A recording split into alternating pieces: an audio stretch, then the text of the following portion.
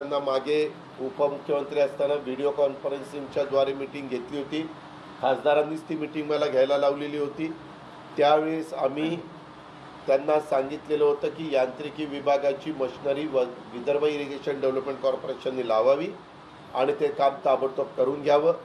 परंतु त्याच्यामध्ये ज्या पद्धतीनं ते काम सुरू व्हायला पाहिजे होतं आत्ता अधिकाऱ्यांनी सांगितलं ही अडचण आली खासदारांनी सांगितलं त्यांना डिझेललाच पैसे नव्हते.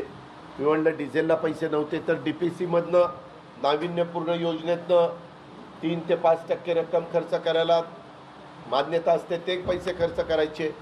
किंवा खनिज चे पैसे जे आपल्या वाट्याचे मिळतात मला वाटतं इथं साठ कोटीपेक्षा जास्तीची रक्कम. दोनशे पंचवीस कोटी. दोनशे पंचवीस कोटी असं खासदार साहेब सांगतात. जी काही रक्कम वर्षाची असेल त्याच्यातले दोन पाच कोटी रुपये डिझेलला गेले असते ह्याच्यापेक्षा जास्त झालं नसतं. वास्तविक कुठल्या कामाला आपण प्राधान्य दिलं पाहिजे हे प्रशासनाने नीट लक्षात घेतलं पाहिजे. आणि तिथल्या लोकप्रतिनिधींनी तिथल्या संबंधित मंत्र्यांनी पण या संदर्भामध्ये सूचना तशा द्यायला पाहिजे म्हणजे मग ह्या अडचणी येत नाही.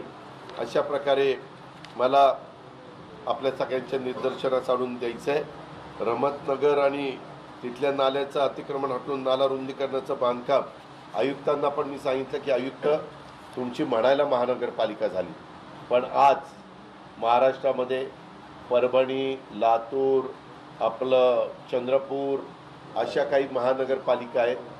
अकोला यांची परिस्थिती आर्थिक महानगरपालिकेची फार चांगली नाही आहे आज पण तुम्ही शहरामध्ये फिरत असताना बघताय ज्या प्रकारची स्वच्छता असायला पाहिजे ज्या प्रकारे अतिक्रमण काढण्याच्याबद्दल काही ठोस भूमिका घ्यायला पाहिजे तशा पद्धतीची भूमिका ती घेतली जात नाही.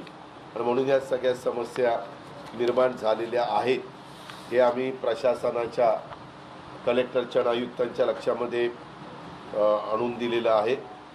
त्याच्यामध्ये सरकारने ज्या प्रकारे पंचनाम्याचे आदेश दिले ते पंचनामे अजूनपर्यंत पूर्ण झालेले नाहीत. अजूनही काही लोकांना तातडीची मदत ही मिळायला पाहिजे. आता ते म्हणतात आज प्रशासन आम्हाला क- खासदार आमदारांना सांगितलं की आम्ही उद्यापासून देतोय. म्हणजे असं ते सांगतायत. तर वास्तविक ते मदत